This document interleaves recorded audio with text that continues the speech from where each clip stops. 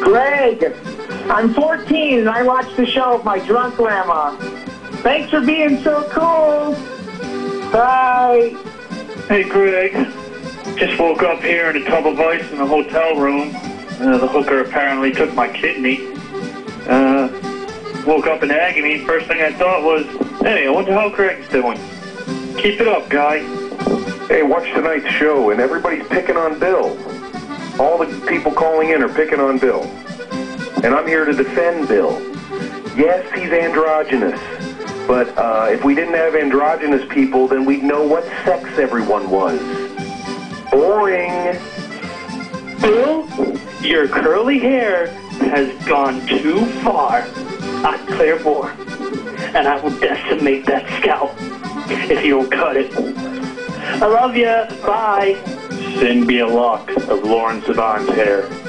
I thought you guys were all Jewish, all the guys. I thought Greg Gutfeld was a Jewish name, but what the hell are you? Italian? And uh, I know Jews and Italians are alike, but I do dig Andy Levy. He's a nice Jewish boy. Hey, Greg, I like the show. I watch it with my girlfriend, and she says you're like an evil Pee Wee Herman. I don't know what that means, but I like it. Later. Yes, thank you so much, Greg, for having greater introductions. Really cleaned them up, and that's great. I used to have to mute the introductions, okay? So now I can actually listen to your whole show. I salute you as a man for the beautiful, amazing, smart, intelligent, sexy women that you have on your show every night.